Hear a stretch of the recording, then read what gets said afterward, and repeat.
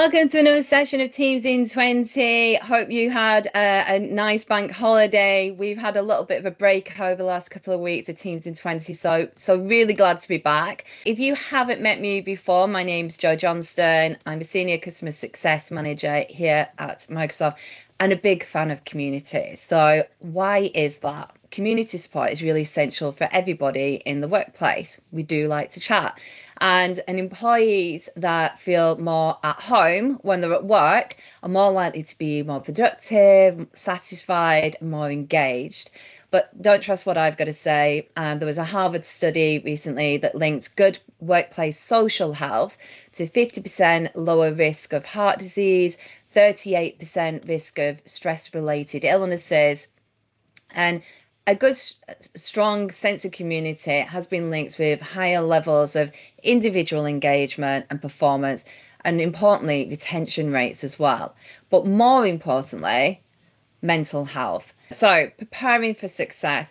When i think of communities there's often a theme involved. If you think about the the superheroes community it's all about you being that hero at work, bringing and showing your knowledge, maybe some new innovation, something that's worked really well for you, for you um, and building that into that community. So when you're thinking about your community, what is it all about? Does it have a theme? Um, and then I think of the who, why, what, where, when. I would struggle with that. Um, thinking about the who, who's going to be in your community? More importantly, who isn't? You know is this a safe space for people to come together? Who do you not want in there? You, you know slt management salespeople i don't know. Who whoever you don't want um, in there is, is equally important so that um, you can manage that community uh, safely. So and then thinking about why uh, people might want to join your community. How do you ensure that the content is engaging um, and kept up to date and, and something that people want to see? And then thinking about what the purpose of the community is, what do you actually want to achieve? What do your members want to achieve by joining that? We're all really busy. What makes them come to your community over others? Because there are lots that you could be members of. Um, and what do the activities look like? And then when we think of the where, it's where we're going to communicate. Uh, where are people going to ask for help? Where are people going to show content? And and when? When do they want to communicate? You can sometimes over announce things. You know, lots and lots of notifications can be just too many. It drives people away. So, what is your rhythm of business there? Do you want to have a regular event that you creating? So thinking about that. So all key things that you want to consider for your community. Um, but who's going to help you? I'm pretty sure not everybody, you know, you've not got the answers to everybody's questions. So maybe you need that V team around you. Um, and if you do, what are their roles going to be? Who um, or what are they gonna what are they gonna own in that community? And just what are they committing to? So if I think of the superheroes community, I've committed to delivering teams in 20 sessions and showing that content I'll join webinars, I might answer some questions, but that's my commitment. And other people in the V team all have their commitment. It might be that I post something every Monday, or I do a roundup of, of activity and we send that out on a Friday, or I manage webinars. Could be could be all sorts. Now, what I'm going to do now is just give you a, an example, a real example of um, communities that I'm actually a member of. So um, in Microsoft, we have many, many communities, um, and we have them for various reasons. So, and these are in teams. Um, but this military at Microsoft, um, I'm ex British Army. I, I organise our remembrance um, events. So in this community, I'm busy asking people what they want. We're preparing. There's lots of project planning going on, and this is why teams um, is a great place for me to to to work through that. We do have that social side of our community as well, which is the engaged side, and we bring the two together. So Teams is really about that knowledge sharing, that working, collaborating with your community, and the engaged piece is really about that social interaction, that you know chatting between each other what we what we're up to, sharing war stories as we do, in that military community. I'm also in uh, Women in Global Customer Success. So this is colleagues all over the world that work in customer success. We talk about anything in, in there from what books you've read to how to inspire you to kind of, I don't know, go for that next role. Um, then we've got things like the UK Sports and Social Club. Now, there are tons and tons of different clubs. Um, now, you might want to only kind of show the ones you're interested in, given there's, I don't know, like 40 different channels. But you'll see in here, there's a channel for each one of these clubs. In this one for motorcycling, I don't have a motorbike, just to caveat that. But they, uh, yeah, they're talking about different um, places they go and different bikes they've got. Um, in our Accessibility Champions community, this is people around the organisation that want to support uh, accessibility um, as the sessions that we deliver. So we might do things like share demo content or what landed really well or, you know, new features that have come out. And then we've got external communities. So um, I might have, you, you may even be a member of that, one of these. Um, the community corner, um, in here you'll have some great things like everybody who joins this community gets a welcome message and that welcome message might have things like how to nav- navigate around the community what the community is all about. Um, and this is done with power automate. So somebody fills in a form they automatically get this welcome message. It tells them everything they need to know. Um, there's even a little video here as well about joining this community uh, they've also, you see here, um, put, numbered the channels, and and each of those channels is, is has got a real purpose. If I go down into an old community that I previously created for retail customers, um, one thing that I really love here, and you'll see I've done a similar thing, each one of those channels has got a purpose. In my case, it also had an owner. So if you had um, a question about Viva, there was somebody who owned that Viva channel and somebody that uh, would would respond back to you there. Um, but I just want to take you up to manage team here. So I've clicked on team and the three dots there. You'll see that my team all had tags um, and that's the different roles. So in the community, if somebody asks a question about a certain bit of technology or a certain question that I know a, a particular role would be able to answer, I would at mention that tag. So if people in your community have got different skills, for instance, and you want somebody who knows about SharePoint, you know, part of your joining um, process could be what what skills have you got. You could give them multiple tags where uh, you know, if somebody has a SharePoint question in the in the community, you can say at SharePoint, and anybody with that skill is going to get a ping. Um, you might also want to do things like in my uh, channel here, I've got news and roadmap. I've actually got an RSS connector in there that took two minutes to set up. That's bringing in information from the, the roadmap. We've also tabbed, um, tagged the roadmap up the top there as well. Uh, so you can click in and find out you know all the latest features that are coming. Um, in my general channel as well, I mentioned about that social aspect. Uh, we do want we. I would not say Teams is that place where you're going to have those back and forward conversations about you know your dog or, or you know what you did at the weekend so superheroes are your in this case are in whatever engage page you might have your for your community.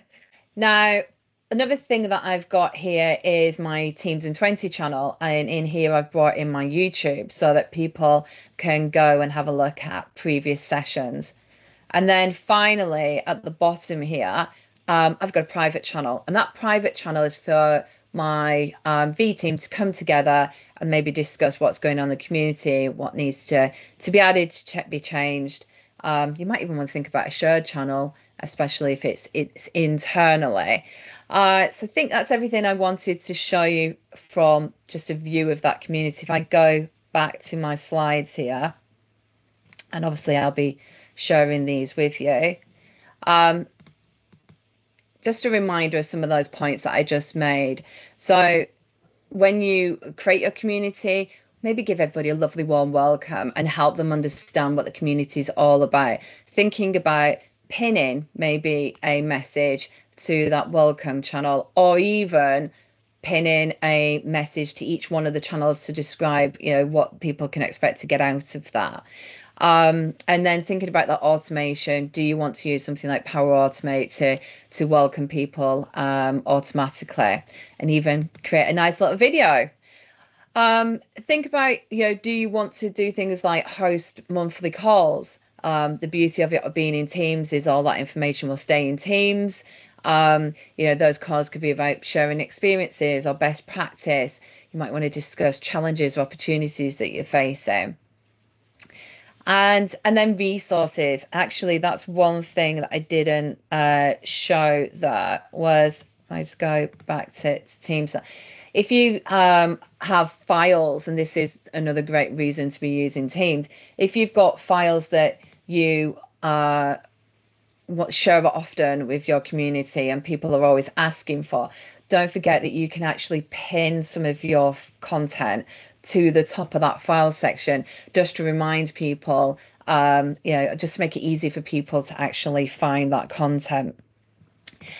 Um, and then thinking about those at mentions and and tagging as well. I really do love uh, tagging. I think it's a, it's an unused feature that people are not even aware that actually exists one thing I would say is just be really careful with the amount of at mentions and and um, announcements that that happen um, because you can overdo it with notifications and that kind of pushes people away. Um, if you want to be a little bit more advanced, you might want to think about considering a bot for your community. Now, we used to do this way before Copilot. Uh, so, you know, uh, actually, what the bot did, we linked it up to a SharePoint um, page, and you could ask questions of the content that was in the SharePoint page. So, that is still something you could do today. But uh, most people, you know, if you've got Copilot, that's what you're going to be using now. And, and then think about uh, proactively sending messages to your community as well. If you've used Company Communicator before, you'll be familiar with this, but you know, Company Communicator um, is a great tool that means that you can quickly send a message that's pushed into a chat or a group chat even um, or a team and and it you know you're sharing that content. So if you've got a new event coming up and you want to share that uh, information with your community you could share it to everybody that's in that team via company communicator. And, and as i said i'm going to show all these links out. So um, you can go and have a look at that. Don't forget to encourage um, engagement. Now one thing that um, i have noticed is people tend to directly contact me. So I try to get people to go back into the community and post their question because if that person's got a question, lots of other people will probably have the same question. So you maybe have to do a little bit of policing on your community, get them to post the question. Um, it's worth the effort. And then thinking about things like how visual is your um, is your posting as well. So yeah, how, do you want to do things like grouping content with hashtags but how do you want to include things like gifs and videos as well? Um, i do like more visual con- um, content so uh, i think that draws my eye to that post more. So think about how you're going to make that more um, entertaining for your community members and then thinking about large teams or large communities, I should say, you know, large communities within your organizations play key roles, and whether that is employee resource groups um, uh, or, you know, just things like those sports and social clubs that you saw there.